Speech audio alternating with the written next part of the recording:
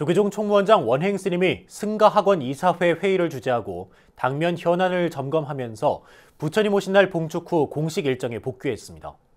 원행 스님은 당분간 종단 최대 현안인 백만 원력 결집불사의 중요성을 강조하면서 종책과제 추진에 몰두할 것으로 보입니다. 첫 소식 정영석 기자가 보도합니다.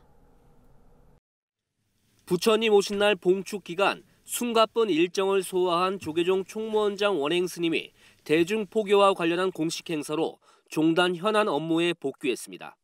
승가학원 이사장을 겸하고 있는 원행 스님은 이사회 회의를 주재하며 당면 현안을 챙겼습니다.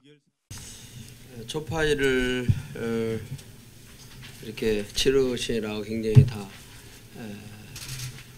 심리가 크였을 텐데 바로 이렇게 이사회를 소집하게 되었습니다. 새로운 총장 스님께서 이제 학교를 책임지고 어, 이제 어느 정도 그 기반을 이제 다지고 하는 시기인 것 같습니다. 이사회에선 중앙승가대학교 감사 보고를 통해 입학생 감소 문제가 다뤄졌습니다. 한국 불교가 직면한 출가자 감소 속에서 중앙승가대 입학생 숫자는 종단 차원의 관심사이기 때문입니다. 강사진의 전공 과목 쏠림 형상도 문제점으로 지적됐습니다.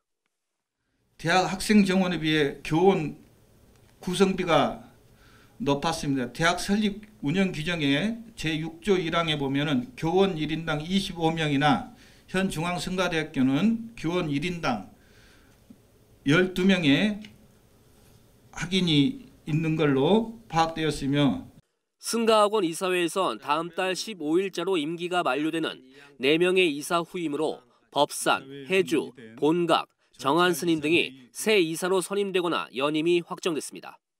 또 지난 4월 중앙승가대 총동문회장으로 취임한 성행 스님은 당연직 이사로 활동하게 됐습니다. 원행 스님이 이어 한국불교 역사문화기념관에서 직할교구 장학생으로 선발된 중고등학생 10명에게 장학 증서를 수여했습니다.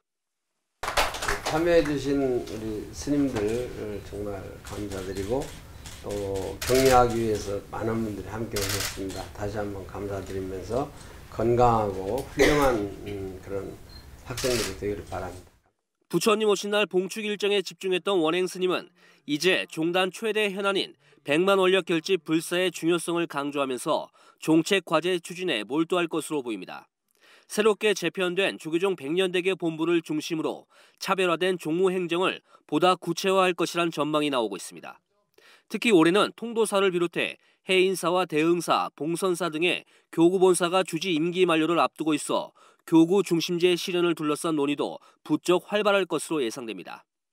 원행 스님 체제의 조계종 집행부는 교구 중심제를 종단 운영의 핵심 정책 과제로 삼으면서 강한 실현 의지를 보이고 있습니다.